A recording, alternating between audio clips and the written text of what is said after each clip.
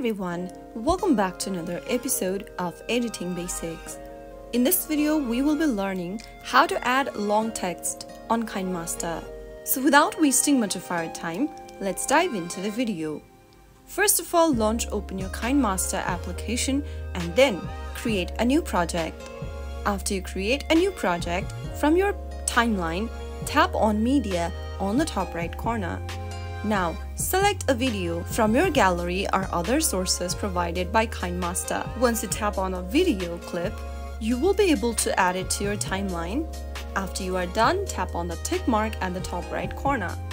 Now that you've added a video clip to your timeline, the next thing you want to do is to tap on the layer button on the top right wheel menu.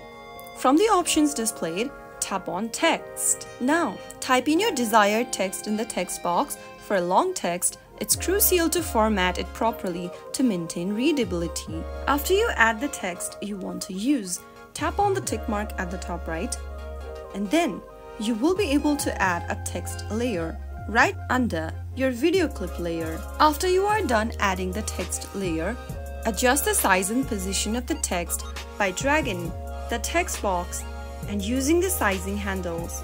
Ensure that the text is not too large or too small. You can also customize the text color, outline and shadow to make it stand out against your video's background by using the tools available on the right hand corner. If your text is longer than what fits on the screen, consider using animation tool for the text. Simply select your text layer and choose the In Animation option from the right hand side menu. Now select In Animations such as slide down or slide up.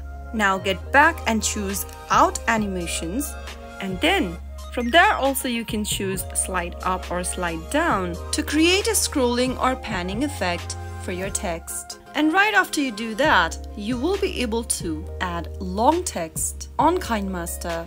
Preview your video to see how the text appears and that's it. If you found the video to be helpful, go ahead and give us a thumbs up. Don't forget to subscribe to our channel by hitting the subscribe button.